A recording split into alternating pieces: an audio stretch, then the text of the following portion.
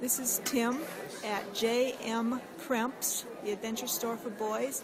And Tim, what are your two most favorite toys here? Two most favorite items in the store?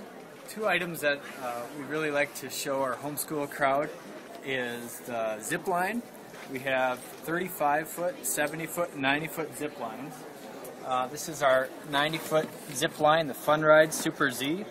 And you hook it up between two trees in your backyard, or if you need to put in a telephone pole for one of the trees, uh, you can do that. And it goes up to 90 feet. We've had a great response uh, from the homeschool audience, and it's a great family activity that just gets them outside having a, a fun time together. Uh, another one that's been very popular for us has been wood carving. And so we have different options for wood carvings from a lot of knives um, to these whittling kits. Um, I'll showcase the whittling kit here. It's got seven different projects um, with the wood included and the instructions that go with each project.